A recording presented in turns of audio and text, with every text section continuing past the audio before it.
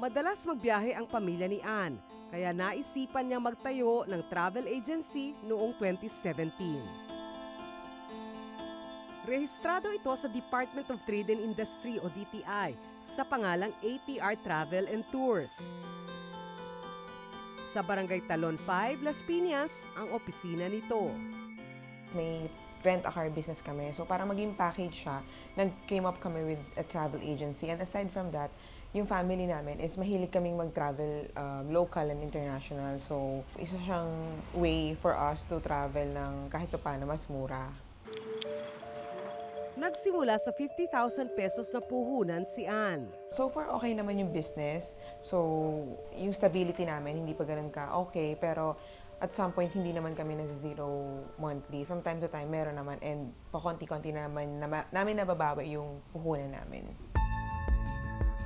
14,713 pesos ang bayad niya sa business permit noong magsimula. Napunta sa mayor's fee ang 10,000 pesos.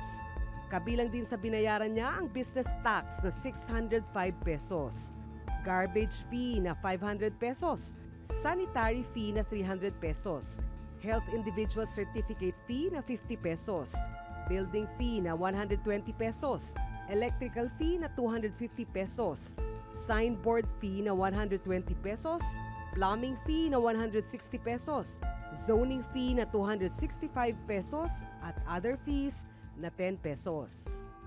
Yung mga permits and yung mga BIR, yun yung mahirap. Siguro yung unang bagay na mahirap is yung mabigat yung mga binabayaran mo. Since start-up pa lang kami, medyo pressure on our end, especially dun sa mga permits, sa mga BIR na binabayaran monthly, quarterly and annually. So, mabigat siya kasi parang we're on the process pa lang na binabawi yung yung naging puhunan. Pero at the same time, ang dami mong babayaran here and there. Sa nakalipas sa dalawang taon, hindi bababa sa 20,000 piso ang gastos ni Ann para dito. Noong 2018, nagbayad siya ng 24,422 pesos. At ngayong taon, 26,807 pesos. We should ask kung bakit ganito kamahal. Kasi kung tutuusin yung sa amin is mura pa eh.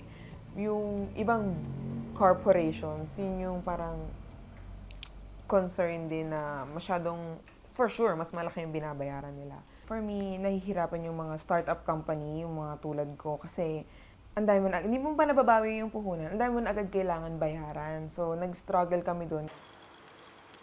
Nagsisimula pa lang ang negosyo ni Ann pero hirap siyang palaguin ito sa dami ng kailangang bayaran. Ang concern namin din ng mga business owners is parang the government doesn't help us. Parang ganun. Parang hindi kami tinutulungan sa business namin. Parang at some point, parang gusto mong magsara yung business.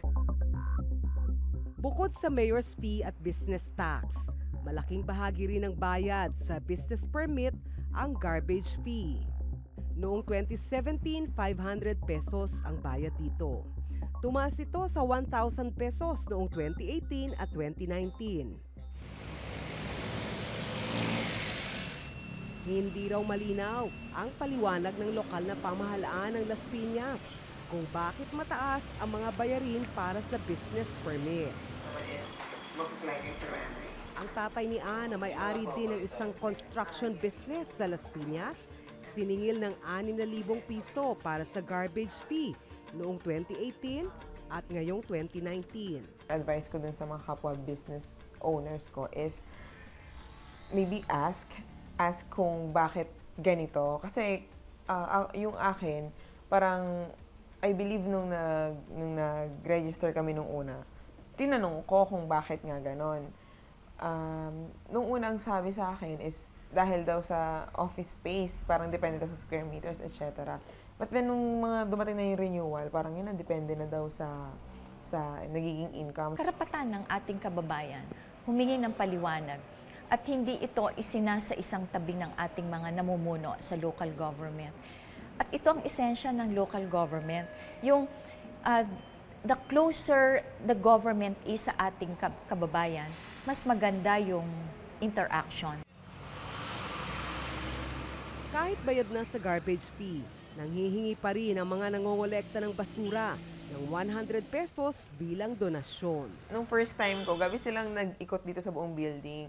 So, yung mga kapwa namin establishment, nagbigay ng, I think, 100 pesos. So, parang na-pressure ako kasi lahat 100 eh. I think parang, na, ang naisip ko, baka standard na 100. Dalawa lang sila ng kanyang staff ang nagtatrabaho sa inuupahang kwarto na ito.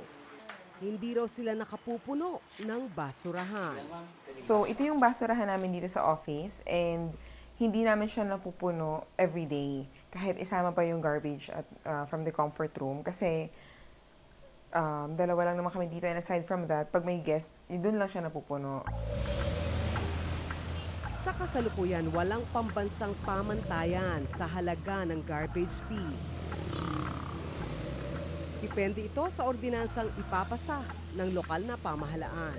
Batay dun sa ating batas, ah, halimbawa ang business permit or siguro yung garbage, yung collection na ah, fees para sa, sa garbage, ito ay tinatakda ng local government. Sinubukan naming hinga ng pahayag ang lokal na pamahalaan ng Las Piñas tungkol dito. Pero hindi pa sila nagpapaunlak sa amin. Yung sa mga permits, sana i-lessen nila yung binabayaran namin kasi basically, we don't get what we paid for. eh. Lagpas siyam na raang libo ang micro, small and medium enterprises sa ating bansa. Sila ang nagbibigay ng trabaho sa mahigit 60% ng ating manggagawa. Kaya mas kailangan ng mga maliliit na negosyante ang suporta ng pamahalaan.